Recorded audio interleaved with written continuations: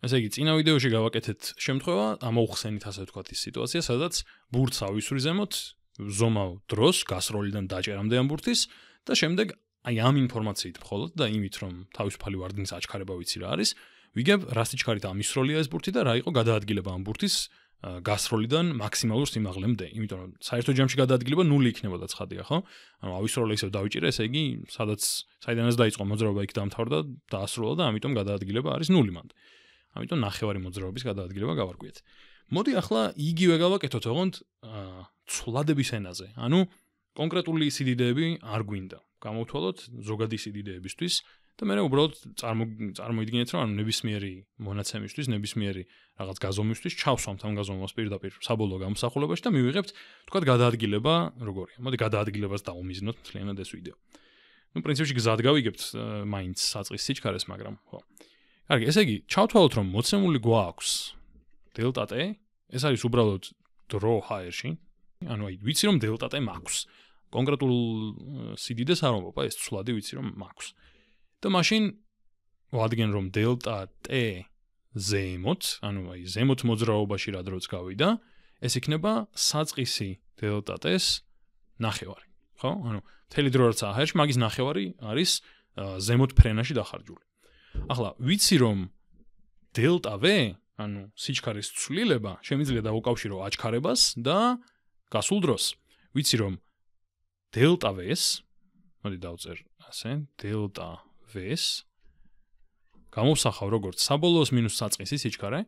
საბოლოო სიჩქარე იქნება 0, იმიტომ რომ მაქსიმალურ წერტილს როცა მიაღწევს, სიჩქარე არ ექნება. მაგას მინუს საწყისი სიჩქარე, ეს უნდა უდრიდეს აჩქარებისა და გასული დროის ნამრავლს. ანუ ეს იქნება აჩქარება რაც გვაქვს დედამიწაზე -9.8 მეტრი შეფარდებული წამ კვადრატთან დედამიწის ზედაპირთან ახლოს რაც გვაქვს გამრავლებული ზემოთ ფრენის დროზე, ანუ დელტა t ნახევარზე. ანუ ეს არის ის დრო რა დროც სჭირდება გასროლიდან მაქსიმალურ სიმაღლემდე რომ მიეღწიოს, ეს არის აჩქარება, ეს არის დელტა v. აქედან, ესე იგი, პირდაპირ ვადგენ, მოდი ბარემ ლამაზად გადმოვწერ, რომ საწყისი სიჩქარე v საწყისი თურმე არის, ანუ ორივე მხარეს მინუსები მაქვს, ამიტომ ეგენი მოშორდება. აა 9.8 გაყოფილი 2-ზეც გადავაკეთოთ. 4.9 მეტრი შეფარდებული წამ კვადრატთან გამრავლებული დელტა t-ზე. ანუ იმ თელ დროზე რაც გავზომე, ხო? ანუ ეს მოიტანა იმან რომ ეს ორიანზე რომ იყო გაყოფილი, ბარემ რაღაცა რიცხვი რაც მქონდა, ეგ გავყავი მაგაზე. ესე იგი, გამოდის რომ საწყისი სიჩქარისთვის უკვე მაქვს გამოსახულება, ხო? საკმარისი არის გავზომო რაღაც დრო, მნიშვნელობა არ აქვს რა დრო. ჩავსვამ აი ამ გამოსახულებაში, აი აქ, ну წამებიც აი ამ წამის კვადრატს გააკრობს, ერთეულები დაждდება მშვენიერად და მივიღებ ეგრევე რა ყოფილა საწყისი სიჩქარე. კარგი ბატონო, ეხლა მეორე ნაწილი. მეორე ნაწილი უკვე გვაინტერესებს როგორი იქნება გადაადგილება.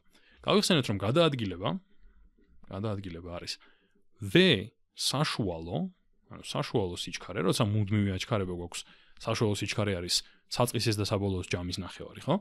გამრავლებული ისევ ფრენის დროზე, ანუ დელტა t ნახევარზე, იმიტომ რომ ნუ გადაადგილება მაინტერესებს გასროლიდან მაქსიმალურ სიმაღლემდე.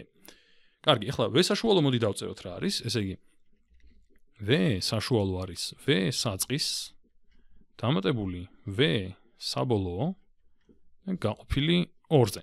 ეხლა ვიცი რომ v საწყისი მთლიანად არის აი ეს ხო გამოსახულების თანახმად და ესა v საწყისი. ამ დროს v საბოლოო ვიცი რომ არის პირდაპირ 0. ესე იგი გამოდის რომ საშუალო v საშუალო სიჩქარე უბრალოდ არის 4.9 მოდი გადმოვწერ ფერებით 4.9 მეტრი შეფარდებული წამ კვადრატთან გამრავლებული დელტა t-ზე და კიდევ გაყოფილი 2-ზე. კიდევ გაყოფილი 2-ზე. ესე იგი, მოდი აქ ჩავწეროთ ახლა ეგ. გადაადგილება ესე იგი.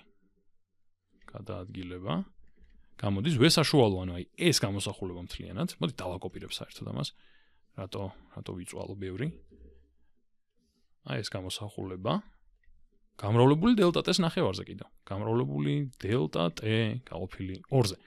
ესე იგი საბოლოოდ რა მივიღე? მივიღე რომ გადაადგილება არის 4.9 მეტრი შეფარდებული წამ კვადრატთან გაყოფილი 2-ჯერ 2-ზე, ანუ 4-ზე და გამრავლებული დელტა t-ს კვადრატზე. ანუ ერთადერთი რაც დამრჩენია არის რომ აი ეს გამოსახულება გავამარტივე, ხო? ანუ 4.9 გავყო 4-ზე.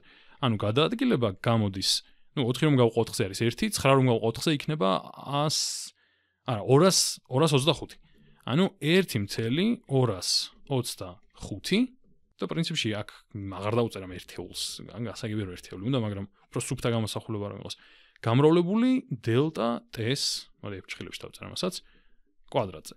ესე იგი, მივიღე რომ აი ეს გამოსახულება მაძლევს იმას თუ რა არის გადაადგილება გასროლის მომენტიდან მაქსიმალურ სიმაღლემდე. ანუ რეალურად სიმაღლეს ვიღებ რა, სიმაღლეს მიაღწევს გასროლილი სხეული.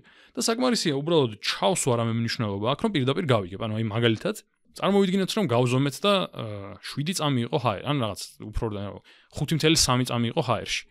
ნახოთ რა იქნება გადაადგილება, ანუ რა სიმაღლემდე ამისვრია, ხო? 1.225 უნდა გავამრავლო 5.3-ზე და გავამრავლო 5.3-ზე. 34 მეტრი დაახლოებით.